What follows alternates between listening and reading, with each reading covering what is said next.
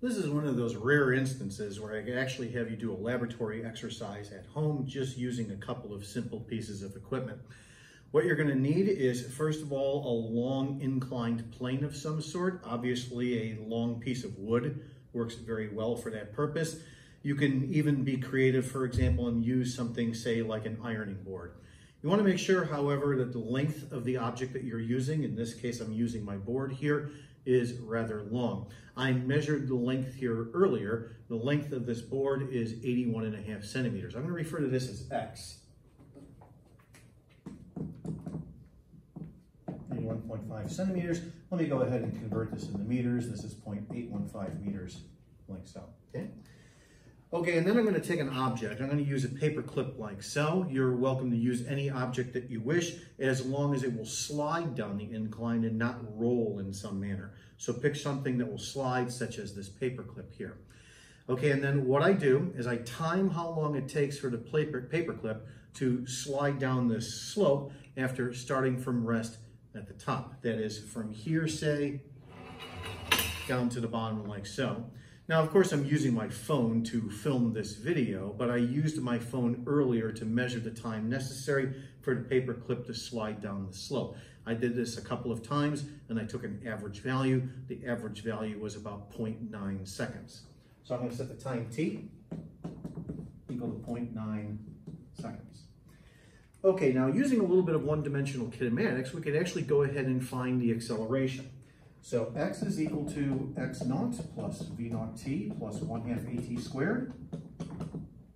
Let's go ahead and substitute in our zeros. I'm going to say that the object starts at the origin and it starts from rest.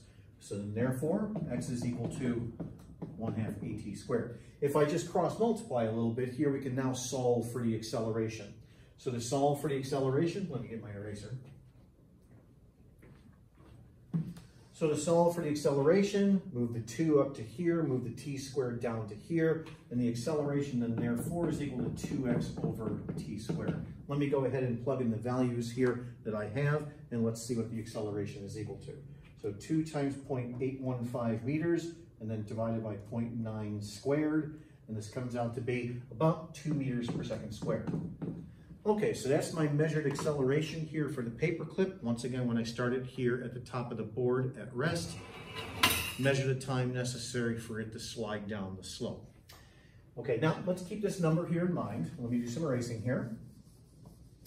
And now let's refer to one of the kinetic friction examples that I did in lecture, specifically finding the acceleration when an object is initially moving down the incline with kinetic friction. I derived the following expression for the acceleration in that problem. The acceleration is g sine theta minus coefficient times g cosine theta. So I refer you to that specific problem. It was part A of the example involving the incline with friction. I derived the acceleration as this value. Okay, now we just measured the acceleration. G, of course, is 9.8 meters per second squared. The last thing that I have to do here in order to determine the coefficient of kinetic friction between the paper clip and the board is measure the angle. So I'm going to do so by using this protractor here. Okay, I will photograph exactly what it is that I'm doing here such that you can see this a little bit more carefully. But when I use my protractor like so, I measure the angle of inclination here to be 21 degrees. Okay, so if I measure the angle of inclination to be 21 degrees, now I'm basically just going to plug everything in here and solve for the coefficient. All right, so let's actually do the algebra here and solve for the coefficient. I'm going to take these two terms here and reverse them. Like so. And now I'll divide by g cosine theta to the other side to then get the coefficient by itself.